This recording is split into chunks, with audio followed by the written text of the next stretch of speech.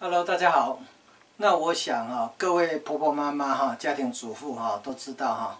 那每当我们新买一块这个砧板哈，用不到三个月哈，就已经变得非常黑了哈。那事实上我们只用到表面薄薄一层哈，那其他都还很很好啊。那因为我们经常在切菜的时候哈，那会造成这个砧板的伤痕啊，那里面有很多血水、菜渣、细菌、霉菌哈。那会造成花黑，那这时候如果我们用这个，呃，一些清洁剂哈，或是这种苏打粉啊，小苏打粉，或是柠檬酸呢去洗啊，效果非常有限哈啊。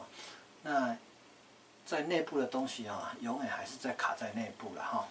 那我觉得最好的方法啊，还是要，呃，破坏再来建设哈。那我们原则上就是最好把。这一层已经粗糙不平的这个表面，把它刮除，这样是最好的哈。那我们就来示范一下，怎么来让你的砧板恢复原来的样子啊。那我们来看我这一块砧板哈。那事实上这块砧板用不到几个月了哈，啊，不到半年啊，就已经这么黑了啊。那我们基于这个爱护地球的这个。这个原则哈，我们能修的我们就尽量修哈。那我想哈，各位这个厨房哈都有这种宽宽的菜刀哈，那这个就是很好用的工具了哈。那首先呢，你这个砧板哈要先让它泡水泡湿啊，泡湿的话有一个作用比较柔软哈。再来你就用这个菜刀去刮它哈。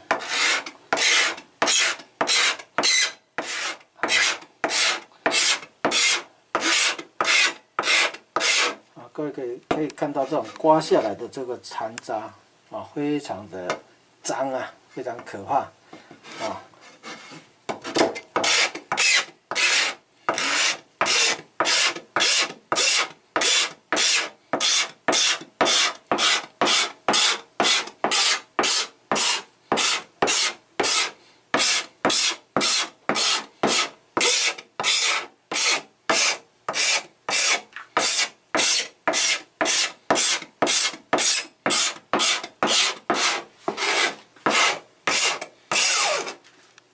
那等于说，我们在替这个哈砧板做一个去角质的动作。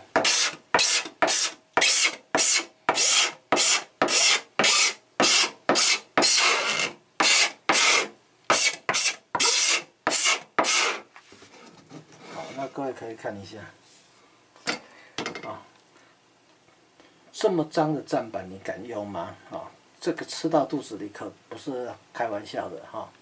好，那我们我们先把它哈冲一下水哈，看哪些地方还没有刮到。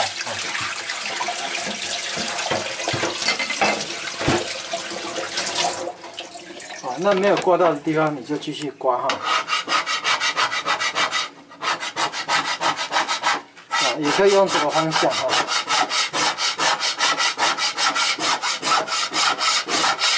好，彻底的把它铲平。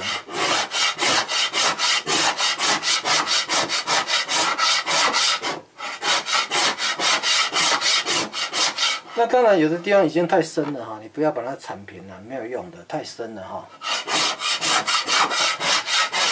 啊，我们就原则上就是百分之九十就们铲平就好了。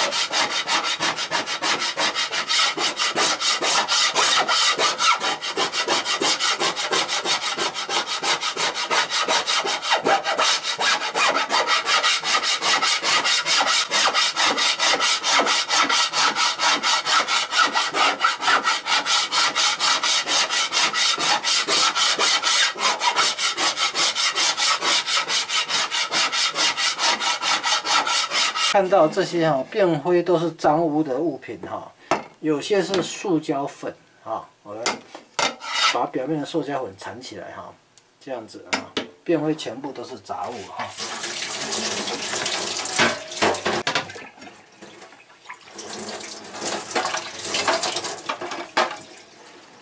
好，那我们先洗干净以后，用抹布把它擦干哈。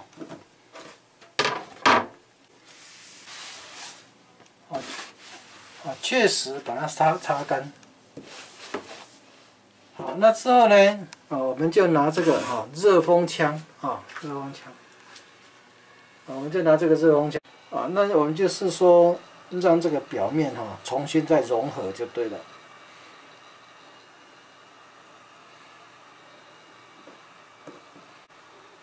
哦，那你如果在吹看到它表面有变这种亮亮的的反光啊，就表示它有有在溶解状态就对了。啊，有没有看到亮亮的出来？好，那我花了一些时间哈，将这个伤口哈，已经把它用这个热风枪把它抚平了哈。那我发觉。四百度啊是比较理想的温度哈，一开始我们调三百度比较慢啊，大概四百度这样比较快。那这样的话，你把这个砧板的伤口抚平，这个脏的东西就不会卡到那个缝隙去了。那我可以又再重新再使用这块砧板了。那如果各位喜欢我的。